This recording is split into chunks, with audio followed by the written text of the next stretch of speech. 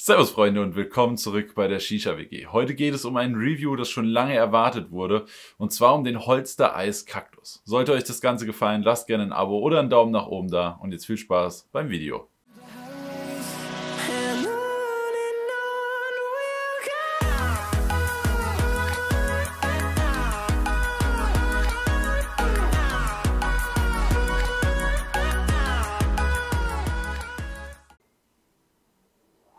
So, da bin ich wieder mit dem Holster Eis Kaktus. Ja, wie gesagt, ein lange ersehntes Review. Es gibt ja schon einen ganz schön krassen Hype um den Tabak. Jetzt habe ich mir endlich auch mal eine Dose geholt und dann wollen wir mal gucken, ob das Ganze auch taugt. Als erstes blende ich euch da mal den Kopfbau ein. Das Ganze habe ich übrigens in der Harmony Bowl von Somo und Huka John gebaut. Und ihr seht schon, der Schnitt ist einfach brutal gut. Das ist so ein mittel- bis feiner Schnitt, der sich einfach super angenehm bauen lässt. Da habt ihr auf jeden Fall in keinem Kopf irgendwelche Probleme. Feuchtigkeit ist perfekt aufgenommen. Ihr habt kein bisschen überschüssige Molasse. Ich habe auch mal auf den Boden von der Dose geguckt. Da war definitiv keine Molasse am Start. Also sehr, sehr gut aufgenommen und trotzdem gut feucht, genauso wie das sein muss. Aber es muss auch genauso sein, weil das Ganze kostet euch 17,90 Euro für 200 Gramm und damit sind wir beim nächsten Tabak, der jetzt auch 18 Euro kostet, was einfach ein bisschen schade ist. Ich verstehe auch nicht ganz warum. Nameless konnte das Niveau sogar auf 14,90 Euro halten, ist jetzt auf äh, 16 Euro, also 15,90 Euro und ist immer noch saugut. Ähm, tut einfach ein bisschen weh, dass wir da jetzt schon bei 18 Euro wieder sind. Aquamente hat es vorgemacht, hat anscheinend gut geklappt und jetzt ziehen die anderen nach. Aber darüber haben wir ja schon oft genug besprochen, äh, gesprochen. Ich würde sagen, wir kommen mal zu den wichtigen Dingen, was diesen Tabak angeht. Und das ist erstmal der Geruch. Ich habe übrigens noch gar nicht gesagt, wonach das Ganze schmecken soll. Man sieht schon online und auf der Packung teilweise diese kleinen Kaktusbrocken, sag ich mal, die dieses typische Kaktuseis darstellen, was früher so viele genossen haben, keine Ahnung, am Badesee, am Kiosk geholt. Ähm, das hat so leicht auf der Zunge gebitzelt und hat einfach sehr, sehr lecker und erfrischend geschmeckt. Und danach soll das Ganze auch schmecken. Ähm, vom Geruch her kommt auf jeden Fall eine leckere, süße Kaktusnote rüber, die extrem interessant riecht. Also auch vom Geruch definitiv schon direkt sehr, sehr nice. Ähm, im Hintergrund so eine leichte Frische, aber definitiv nicht zu viel. Ähm, ist sehr, sehr gut abgestimmt. Also vom Geruch her wirklich schon mal ein Top-Tabak. Und ja, ist man auf jeden Fall gespannt, wie das Ganze dann schmeckt. Vor dem Geschmack gucken wir uns aber nochmal die Rauchentwicklung an.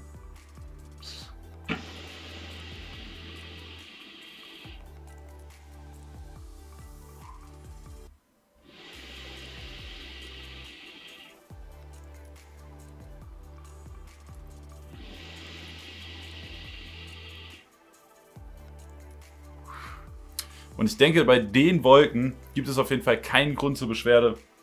Der Tabak qualmt, sogar mit nur einer Kohle und einer Kohle auf Kipp in der Smokebox da oben drauf brutalst. Also er braucht sehr, sehr wenig Hitze, um trotzdem sehr, sehr gut rüberzukommen. Geschmack ist auch schon voll da und ihr habt wirklich so eine sehr, sehr geile Kaktusnote, die auch wirklich so ein bisschen an dieses Eis von früher erinnert. Diese Bitzelnote konnte man natürlich nicht umsetzen, also ihr habt kein Bitzelgefühl im Mund oder so, aber es kommt wirklich schön nah an dieses Eis von früher ran und gefällt mir sehr, sehr gut. Ihr habt eine schöne Frische dabei, also man merkt auch danach noch so im Mundraum, okay, ist angenehm frisch, aber ist jetzt keine kranke Mentholnote oder eine krasse Pfefferminznote oder so. Ist einfach ein bisschen angenehm frisch. Äh, was mir auf jeden Fall sehr, sehr gut gefällt. Ich muss sagen, beim ersten Kopf dachte ich mir noch so, hm, weiß ich nicht, ob der jetzt mir wirklich so hart taugt, keine Ahnung. Jetzt ist in der Dose, weiß ich nicht, noch die Hälfte drin, so ungefähr. Ähm, und ich muss sagen, desto mehr ich ihn rauche, desto mehr will ich ihn auch rauchen. Also es wird einfach nur krasser. Und beim ersten Kopf konnte ich den halt nicht nachvollziehen. Mittlerweile kann ich ihn schon leicht nachvollziehen, weil es passiert mir wirklich selten, dass ich beim Tabak, der nicht Black Nana heißt, mehr als einen Kopf hintereinander rauchen will. Und das ist jetzt auch schon der zweite Kopf, den ich heute hintereinander wegrauche. Gestern haben wir auch zwei hintereinander geraucht. Also es ist wirklich schon krass. Es ist wirklich ein sehr, sehr guter Tabak. Ich bin auch gespannt auf die anderen Holstersorten. Den Kiwi Punch feiern ja auch viele extrem. Mich interessiert auch noch der Bärenmix. Ich weiß gerade gar nicht, wie er heißt. Äh, aber der klingt auf jeden Fall auch noch sehr, sehr interessant. Ich hatte lange keinen richtig guten Bärenmix mehr. Also ich bin auf jeden Fall gespannt, was da von Holster noch so kommt. Die haben ja auch gerade noch fünf neue Sorten angekündigt. Da bin ich auch gespannt, was da mal so kommt. Und ihr merkt schon, jeden Punkt, den ich angesprochen habe, erfüllt dieser Tabak perfekt und kann da definitiv überzeugen. Deswegen kann ich auch eigentlich an keiner Stelle meckern, abgesehen vom Preis. Und deswegen gebe ich auch einen Punktabzug, einfach weil mir diese 18 Euro definitiv nicht passen.